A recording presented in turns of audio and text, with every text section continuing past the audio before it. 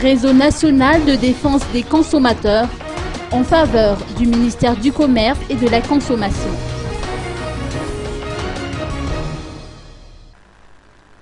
Les associations œuvrant dans le domaine de la protection des consommateurs a toujours revendiqué un ministère de la Consommation.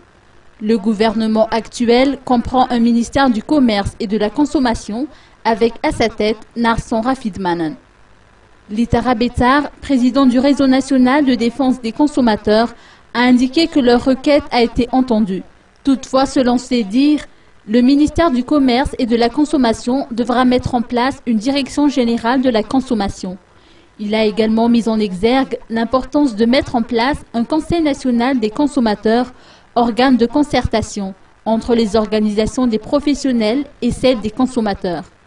La consommation, selon ses représentants des associations œuvrant pour la protection des consommateurs, ne se limite pas aux produits de première nécessité, mais touche bien des secteurs comme le secteur du carburant ou encore les services administratifs.